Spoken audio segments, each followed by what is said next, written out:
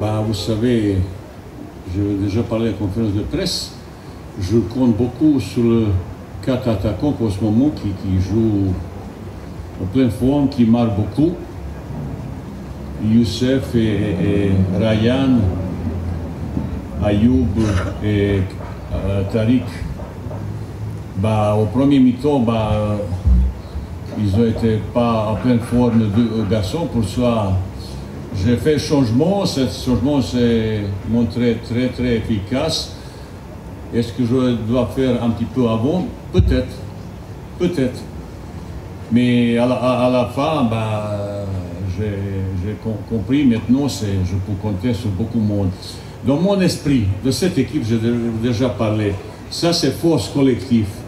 Il y a aujourd'hui dans le football moderne, vous savez, quand il y a possibilité de 5 joueurs, ça veut dire qu'il n'y a pas un joueur titulaire.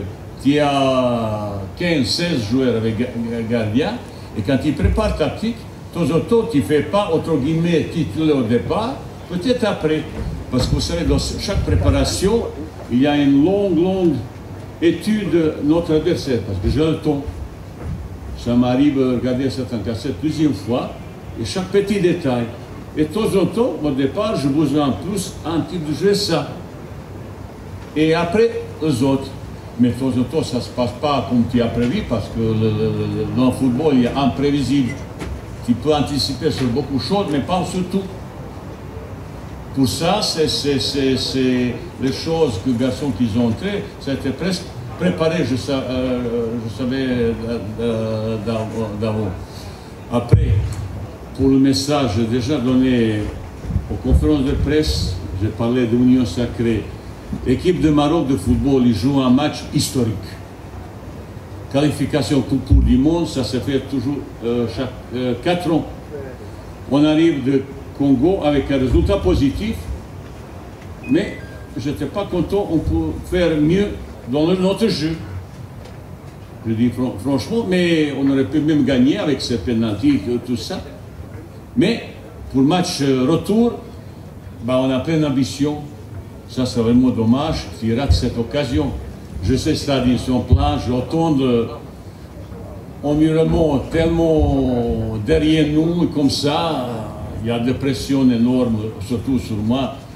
Chez vous, tout le monde sont sélectionnés. Tous, vous connaissez mieux le football, l'équipe nationale, tout.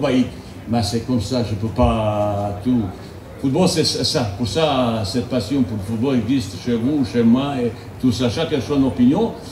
Euh, moi, j'essaie avec mon staff préparer mieux, c'est possible, cette équipe. Par là-bas, je, je. Ça, c'est aussi, si vous vous souvenez de mon discours, on besoin peut-être match extérieur, dans un euh, terrain synthétique, synthétique, ça ne convient pas. C'est troisième, ça ne convient pas. C'est beaucoup de choses. Chaleur, public, différentes stylités comme ça. On besoin cette équipe jaune pour apprendre ça. Peut-être certains, ils ont un petit peu crispation. J'ai vu quelques ratés, quelques contrôles, passes un petit peu manque encore, comme ça. c'est tout à fait normal. Et j'essaye, j'ai eu plusieurs discussions hier soir, j'ai eu une discussion euh, individuelle euh, en contrat avec certains garçons. Parler comme ça, on s'est bien compris.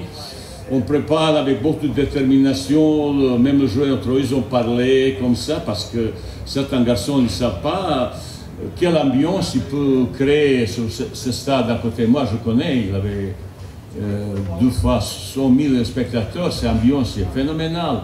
J'ai coaché Paris Saint-Germain, Marseille. À Marseille, c'est au parc, c'est costaud, mais c'est là, ambiance encore plus costaud. Ou Lille, Long, comme ça, je connais quelques les, euh, derby comme ça.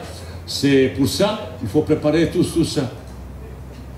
Il y a tout le monde qui, qui, qui sera derrière nous, mais il faut peut-être jouer encore un, mieux.